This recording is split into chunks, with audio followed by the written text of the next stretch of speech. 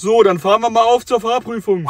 Ach du heilige Sach mal, du Schnepfe, hier ist links vor rechts. Ich glaub, dir brennt der Helm. Ich bin wegen dir fast vom Rad gefallen. Nochmal so eine freche Klappe und dein Helm brennt wirklich. Lass dir lieber mal die Nase verkleinern. Kein Wunder, dass du nichts siehst. Rudi, ich sag's dir, die alte vom Fahrrad, sollte ich die noch mal sehen? So, dann fangen wir mal...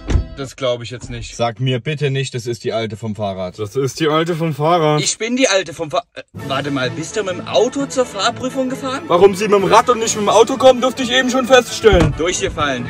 Na warte.